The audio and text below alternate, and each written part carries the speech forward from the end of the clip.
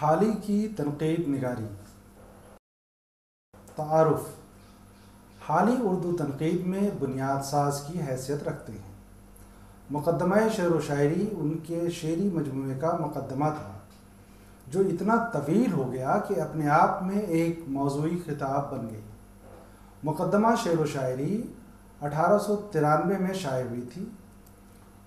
इन सौ सवा सौ बरसों में हाल ही की तनकीद के अमल उनके तस्वुर शेर, उनकी नज़री तनकीद और उनकी अमली तनकीद पर बहुत कुछ लिखा जा चुका है। वो पहले नक़ाद हैं जिन्होंने एक नज़रिया तश्कील देने की कोशिश की। मुकदमा के दो हिस्से हैं। पहला हिस्सा नज़री तनकीद पर मबनी है। दूसरे हिस्से की बुनियाद अमली तनकीद पर है। जेर नज़र इकाई में इन हिस्सों पर बहस के अलावा हाल ही की तनकीद के मुख्तलिफ़ पहलुओं का जायज़ा लिया जाएगा। सबक का मकसद। इस सबक का मकसद दर्ज झैल अमूर को जेर बहस लाना है, ताकि तलबा को हाल ही की तनकीद के अमल के बारे में मुकम्मल मालूम हासिल हो सके। उर्दू तनकीद की तारीख़ में हाल ही का मुकाम। हाल ही की नज़री तनकीद। हाल की अमली तनकीद। हाल से कबल तनकीद की सूरत। हाल की तनकीद उनके असर के तनाजुर में। हाल की तनकीद एक नया तजर्बा। हाल के सामने तस्करा नवीसी की पूरी तारीख थी। वो जानते थे कि वक्त के तकाजे बदल चुके हैं। सिर्फ़ इल्म मानी, बयान और बदी की रोशनी में अदब की जाँच परख एक महदूद अमल है। महज सन्नाई का नाम शायरी नहीं है। उन्हीं के मगरबी मासिर मैथ्यू आर्नल्ड के इस कौल ने काफ़ी शोहरत पाई थी कि अदब तनकीद हयात है। अदब तनकीद हयात है तो तनकीद अदब क्या इल्म और अदब का फ़लसफ़ा भी है। इस तरह तनकीद का दायरा असर वसी हो जाता है और वो महज तबसरे तशरी जोई और लफाजी की हदों से निकल कर कद्र शनाशी की हदूद में दाखिल हो जाती है। हाल ही की तनकीद के असल को समझने के चार जाविये हैं। हाल ही से कबल तनकीद की नौीयत हाल ही की नज़री तनकीद, हाल ही की अमली तनकीद, हाल ही की तनकीद को उनके अहद के साथ मरबूत करके देखने का अमल। आज की उर्दू तनकीद ही नहीं, मगरबी तनकीद, कदीम तनकीद से बहुत आगे निकल चुकी है इसमें जो कुशादगी पाई जाती है, इसका बायस नए ओलूम से अखज़ कबूलियत का फैयाजाना अमल है। ज़ाहिर है, हाल ही से हम ये तो नहीं कर सकते कि वो आज के तनकीदी तस्वुरात का इतलाक सौ सौ सवा सौ बरस पहले अपनी तनकीद के अमल पर करते। हाल ही की तनकीद उस तरह का एक तजर्बा थी, जिस तरह नए नज़म के तजर्बे अमल में आ रहे थे।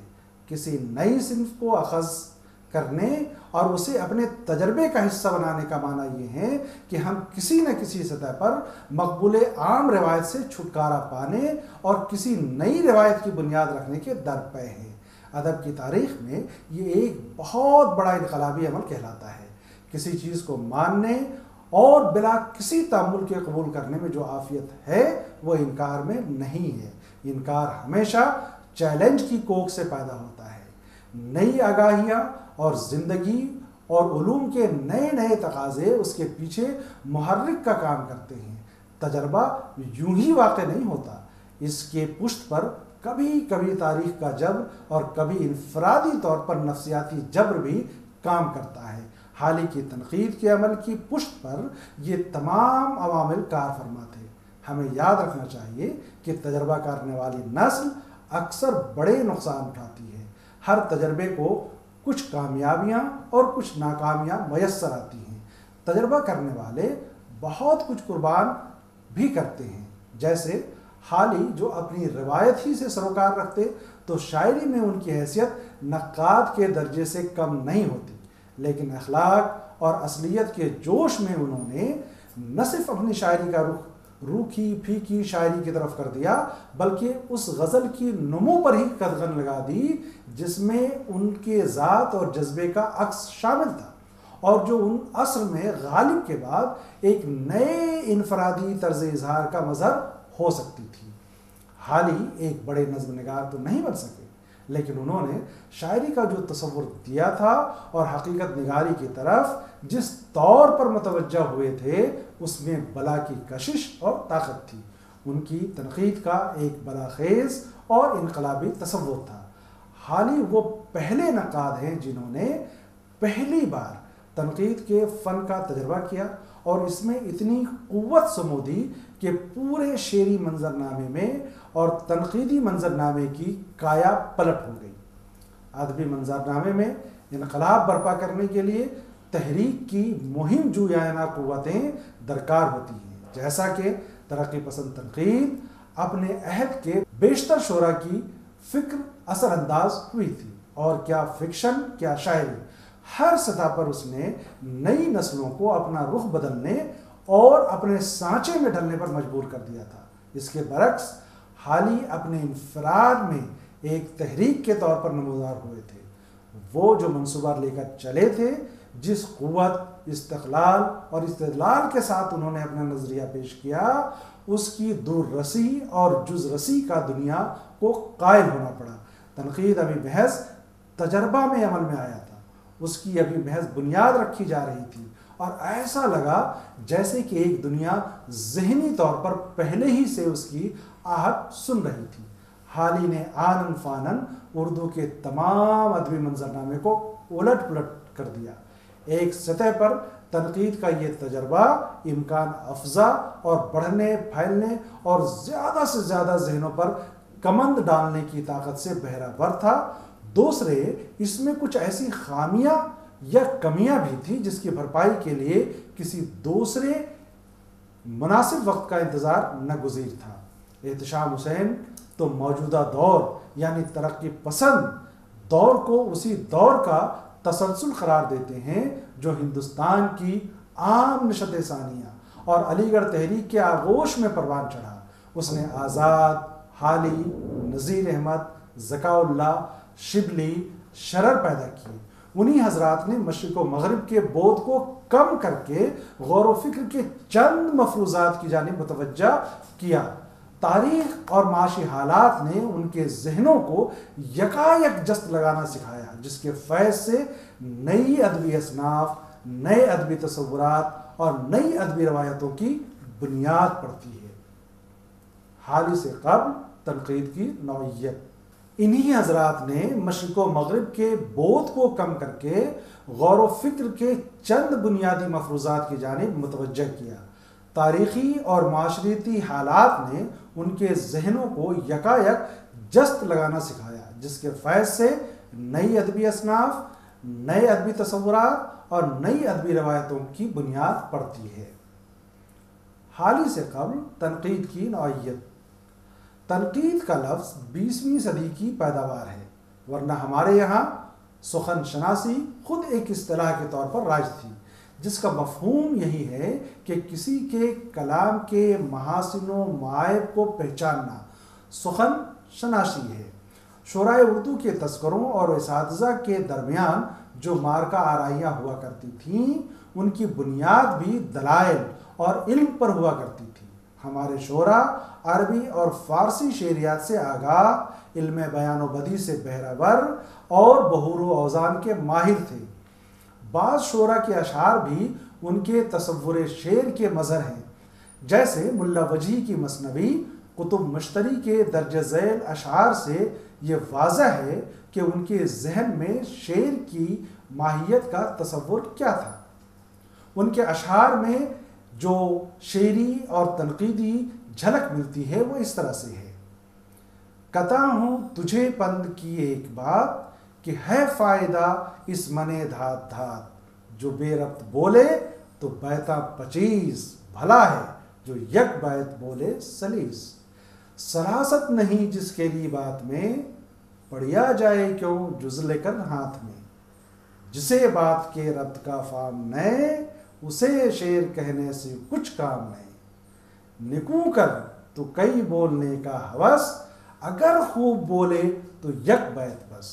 उसी लफ्ज को शेर में ले आए तू, कि लियाया है उस्ताद जिस लफ्ज को। अगर फाम है शेर का तुझको छन चुने लफ्ज, लिया होर माना बलन। रखिया एक माना अगर ज़ोर है, वले भी मज़ा बात का होर है। अगर खूब महबूब जू सूर है, संवारे तो नूर अला नूर है। अगर लाख है माँ अच्छे नार में, हुनर हो दिसे खूब सिंगार में। शेर अगरचे कई लोग जोड़े अहें, बुरे भूत होर खूब थोड़े अहें। मुल्ला वजी ने शेर में बेरबती, यानी अदम तनासब और बिसियार गोई को ऐब में शुमार किया है। अच्छे शेर की एक पहचान उसकी सलासत है। शायर को इंतखाब अल्फाज का शोर होना चाहिए।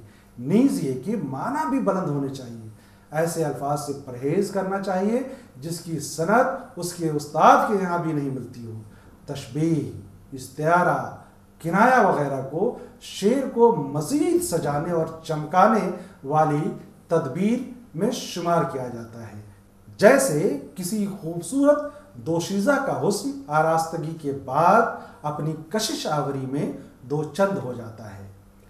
कायम चांदपुरी ने इहाम से दामन कशी को ज़रूरी ख्याल किया है। बतौर हजल है, कायम ये गुफ्तगु वरना, तलाश ये है मुझे, हो न शेर में ईहाम आतिश ने महज मरसा साजी की वकालत नहीं की, बल्कि फ़िक्र ख्याल, निज तखयल के अमल की अहमियत को भी तस्लीम किया है। बंदिश अल्फाज जुड़ने के नगों से कम नहीं, शायरी भी काम है आतिश मरसा साज का। अनीस ने असलन शायरी के जौहर की तारीफ़ मुतन कर दी है। है कजी ऐब, मगर हुस्न है अबरू के लिए। तीरगी बद है, मगर नेक है गेसू के लिए। सुरमा जेबा है फ़कत, नर्ग से जादू के लिए। जेब है खाले से चेहरे गुल्लू के लिए। दाना दाकस के फसाहत बकला में दारत हर सुखन मौक़, हर नुक्ता मुकाम दारत। महोला बाला मिसालें, इस दलील के लिए काफ़ी हैं कि हाल से कबल हमारे शोरा शायरी के फ़न का गहरा इल्म रखते थे। उन्हें लफ्ज़ माना के गहरे रिश्ते, रब्त कलाम, सलासत सफ़ाई, इस्तेमालात अल्फाज और और इंतखब अल्फाज का गहरा शौर था। इन उमूर से उनकी सुखन फहमी और सुखन शनासी और उनके सतह का बखूबी इल्म एहसास होता है। हाली की नज़री तनकीद। हाली ने जिन नज़री मसाइल को ख़ास अहमियत दी है, वो इस तरह हैं। शायरी की तासीर और उसकी अहमियत। शायरी और अखलाक का रिश्ता। शायरी और समाज का रिश्ता। वज़न और काफ़िए के बारे में इनकलाबी तस्वुरात। शायरी के लिए शराय, शायरी की खूबियाँ, शायरी की तासीर। हाल ही की नज़र में शायरी का जौहर अतिय कुदरत है, जिसके लिए वो तलकीन करते हैं कि फितरत के मुताबिक इस इस्तेदाद को काम में लाना चाहिए। हाल ही का नुक़ नज़र इसलाही था, इसलिए वो उसे मुफीद मतलब कामों में इस्तेमाल करने पर ज़ोर देते हैं और जिसका मैलान खैर, नेकी और सोसाइटी की फलाह की तरफ़ होना चाहिए। शायरी चूँकि वसी तर तासीर रखती है, इसलिए उसे बामकसद और अवामनास की असलाह के साथ मशरूत करके देखने पर ज़ोर देते हैं। शायरी और अखलाक का रिश्ता। हाल ही के नज़दीक शायरी हमारे जज्बों और हमारी रूह को एहतजाज बख्शने का ज़रिया है, जिसका सीधा ताल्लुक उनकी नज़र में अखलाक व किरदार से है। अगरचे वो ये मानते हैं कि शायरी का मकसद तरबियत अखलाक, यानी किरदार साजी नहीं है। चूँकि वो ये इंसानी जज्बों पर असरअंदाज होती है। इसलिए वो एक ऐसे बेहतर समाज की तश्कील कर सकती है, जिसमें लोग एक दूसरों के लिए मुआविन और मुखलिस हों। मुतसफ़ाना शायरी एक सतह पर यही काम करती रही है। उनके नज़दीक इसका मनसब भी तजकिए नफ्स और तस्वीर नफ्स था। हाल ही अफलातून के इस ख्याल के मवाद हैं कि शायर को एक मुसलह कौम का किरदार अदा करना चाहिए। अफलातून शायरों की आज़ादाना और अखलाकी रविश से बहुत बेजार था।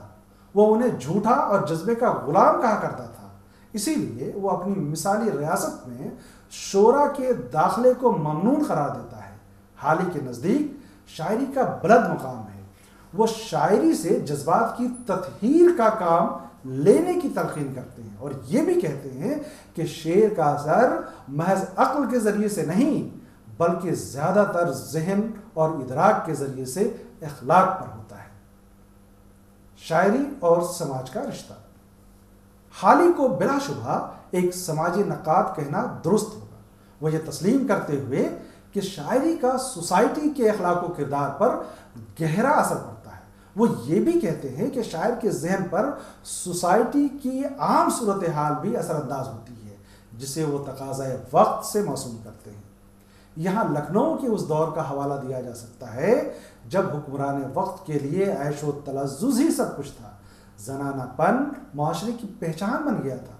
रेख्ता, वासोख्त, मुबतजिल गोई और कंगी चोटी के ज़िक्र से शायरी के दरोबाम चमकाए जा रहे थे।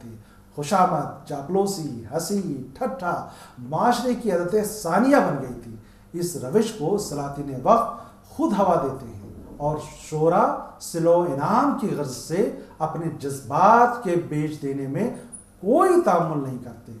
यानी हकीकी शायरी अपने जवाल को पहुँच जाती है और झूठी और अखलाक को बिगाड़ने वाली शायरी को उरूज हासिल होता है। वज और काफ़ी के बारे में हाली के ख्याल हाली अच्छी शायरी के लिए महज मौजून तबाह होने को काफ़ी ख्याल नहीं करते, क्योंकि महज मौजू तबीयत, आम और पसपा मजामी और तशबीहात इश्तारात को दोहराने से ज़्यादा और कुछ नहीं करती। आगे चलकर वो वाजे करते हैं कि शेर, नज्म, यानी पोइट्री और वर्स में यही फ़र्क है कि ख्यालात को किसी ख़ास बहरो वज़न में मंजूम तो किया जा सकता है, लेकिन ज़रूरी नहीं है कि वो शायरी हो। हाल इसी बिना पर शायरी के लिए वज़न को ज़रूरी नहीं समझते। ज़ाहिर है, हाल का ये ख्याल अपने वक्त से बहुत आगे की चीज़ है और इनकलाबी नौीयत का हामिल है। वो वज़न के हक़ में बस इतना कहते हैं कि इससे शेर की तासीर बढ़ जाती है। इसी जेल में वो ब्लैंक वर्स यानी मुर्रा नज़म का ज़िक्र भी करते हैं, जिसने मगरब ने रिवाज पा लिया था। वो काफिया को, शेर के हुस्न को बढ़ाने का ज़रिया कहते हुए ये भी कहते हैं कि काफिया और शेर को बिलाशुबा उसके फ़रज़ को अदा करने से बाज रखता है, जिस तरह सनाए लफ्ज़ी की पाबंदी माना का खून कर देती है। हाल ही ये तस्वुर भी अपने अहद से बहुत आगे की चीज़ है। शायरी के लिए शराइत हाल ही शायरी के लिए सबसे पहली शर्त तखयल को करार देते हैं। ज़ाहिर है, ये भी कतन एक नया तस्वुर था। इस तस्वुर की तरफ़ सबसे पहले रोमानवियों, यानी वर्ड्सवर्थ और कॉलरिज ने मुतवजा किया था। कॉलरिज ने तखयल और फैंसी के अमल का फ़र्क भी बताया था। शायरी की दूसरी शर्त मुताल कायनात है। हाल ही का ये तस्वर भी बहुत अहमियत रखता क्योंकि ज़िंदगी के मुशाहदात और तजर्बात का दायरा अगर वसी नहीं है तो शायर का तखयल भी वसी तर इम्कान की दुनिया तख्लीक नहीं कर सकता। हाल ही न सिर्फ़ कायनात के मुताले, बल्कि फितरत इंसानी के मुताले को भी ज़रूरी ख्याल करते हैं। तजर्बात की इस गुना गुनी के बायस वो मुख्तलिफ़ चीज़ों से मुतहद और मुतहद चीज़ों से मुख्तलिफ़ खासियतें फ़ौर अख्ज़ कर सकता है। बकौल उनके क़वत मतखला को जो मसाला खारिज से मिलता है, उसमें वो तसरफ करके एक नई शक्ल तराश लेती है। हाल ही में मालूम के ज़ख़ीरे की पनागा हाफजे को बताया है, जिसे यकसर गलत नहीं कहा जा सकता, क्योंकि उनका ख्याल है, और ये ख्याल उस अहम के एतबार से तरक्की पसंदाना था कि क़वत मतखला कोई शय बग़ैर मादे के पैदा नहीं करती। ज़ाहिर है, यह हाल ही ये कहना चाहते हैं कि हमारे मुशाहदात और हवासी तजर्बात का सरचश्मा हमारी इर्द गिर्द की हकीकी दुनिया है।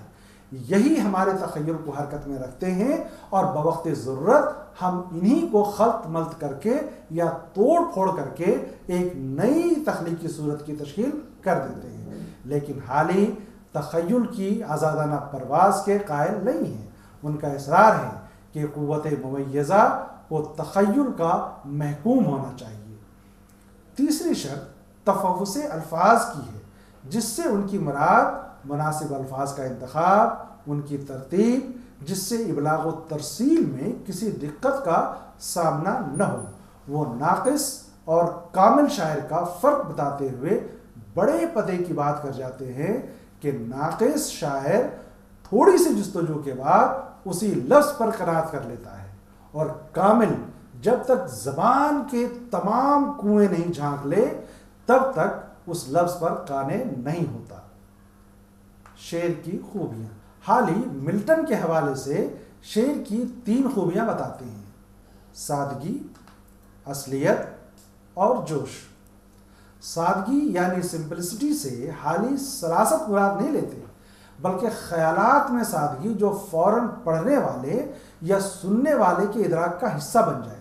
शायर जिस तरह महसूस करता है, उसे फितरत के मुताबिक अदा करे। ख्याल कैसा ही बुलंद और दकीक हो, मगर पेचीदा और नाहमवार न हो। अल्फाज जहाँ तक मुमकिन हो, रोज़मर्रा की बोलचाल के करीब हो। ज़ाहिर है, यहाँ हाल ही शेर से मुकम्मल तरसील इबलाग की तो रख रहे हैं।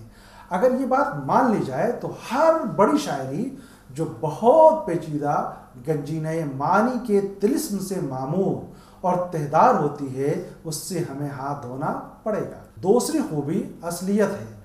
दरअसल, हाल ही के जहन में वाकईत का तस्वुर है।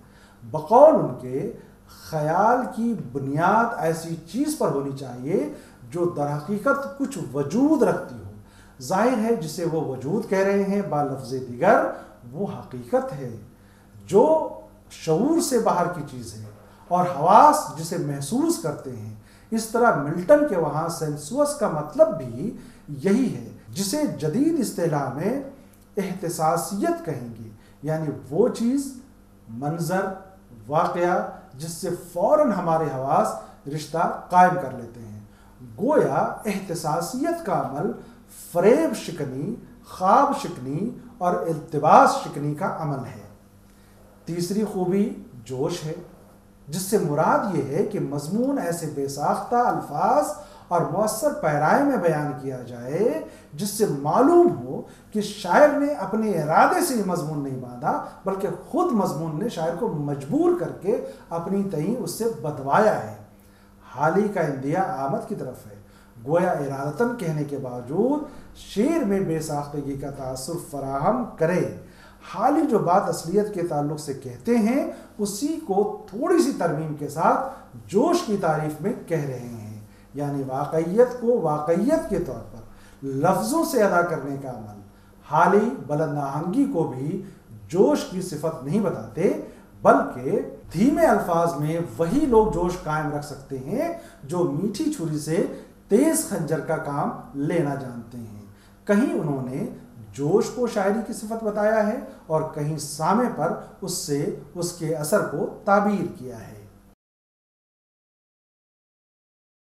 हाल ही ने मुकदमा शेर व शायरी के पहले हिस्से में जो नज़रिया कायम किया है, दूसरे हिस्से में उर्दू असनाफ शायरी पर उसी को मुंतबक करने की कोशिश की है। गज़ल हाल ही ने अपना बेशतर ज़ोर गज़ल की तनखीद और गज़ल की असलाह में सर्फ किया, क्योंकि उर्दू असराफ सुखन में सबसे मकबूल व मरूफ गज़ल है। गज़ल के सिलसिले में उनके बुनियादी एतराज़ा मंदरजा झैल हैं।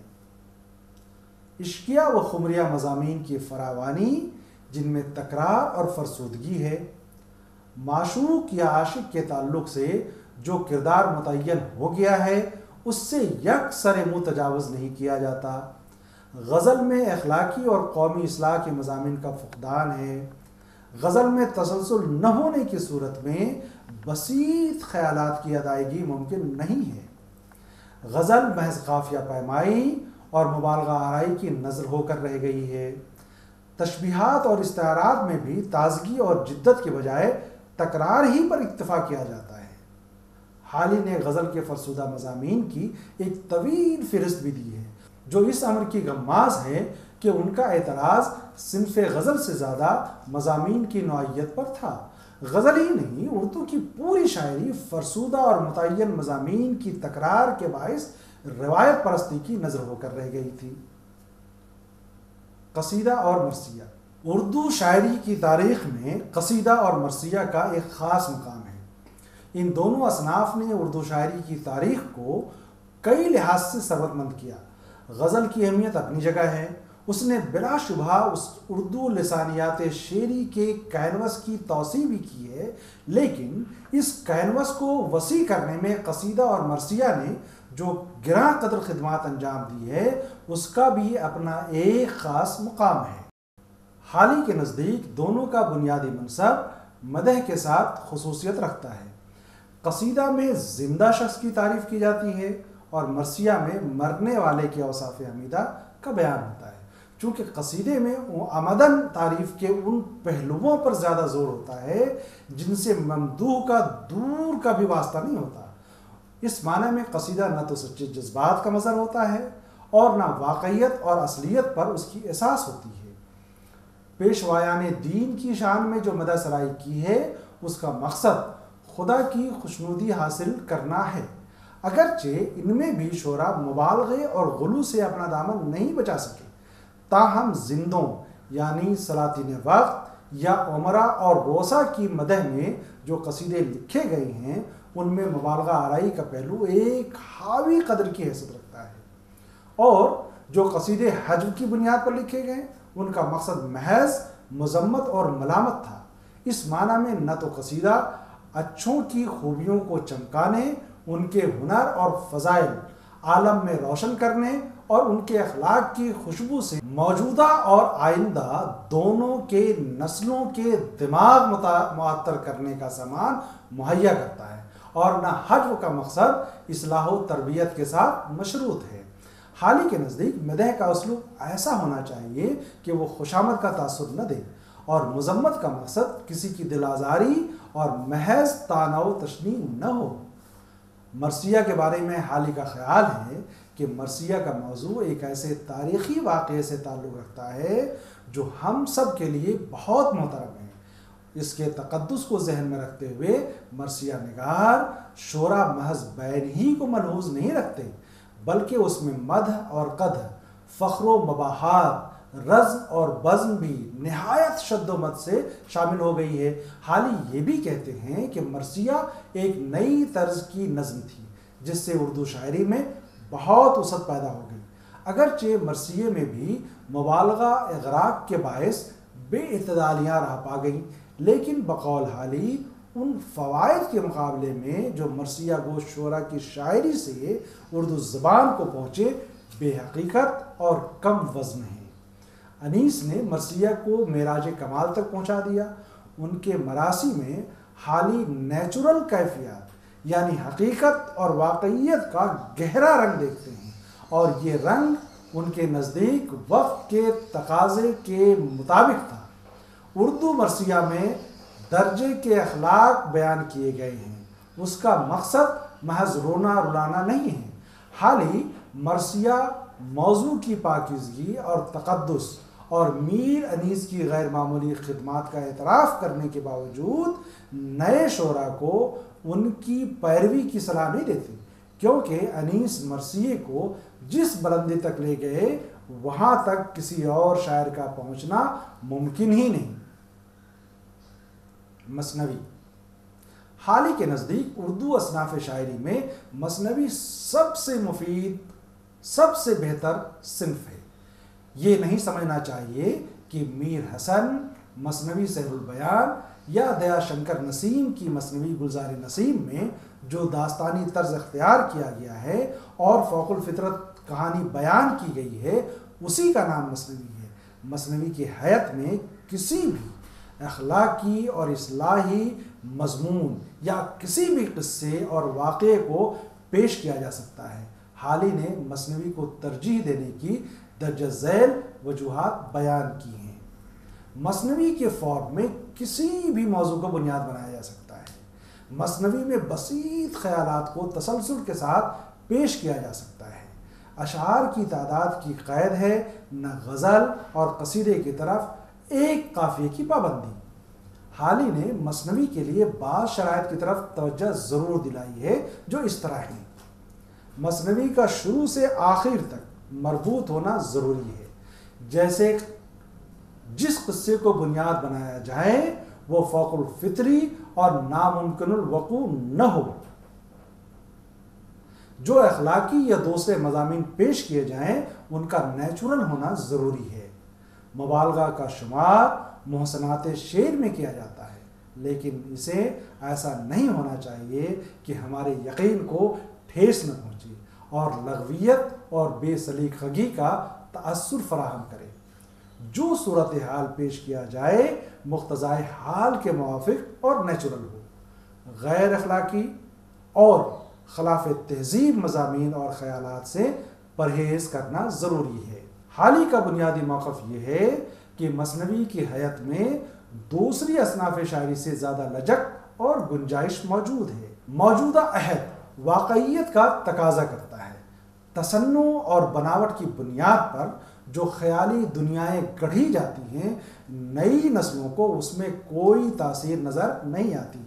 अब शायरी का मज़ाक बदल चुका है, वक्त के तकाजे बदल चुके हैं और कौम की असलाह और अखलाक की तरबियत को मकसद अव्वल बनाने की ज़रूरत है। हाल ही का बुनियादी मौक़ ये है कि मसनवी की हयत में दूसरी असनाफ शायरी से ज़्यादा लचक और गुंजाइश मौजूद है। मौजूदा अहद वाकईत का तकाजा करता है।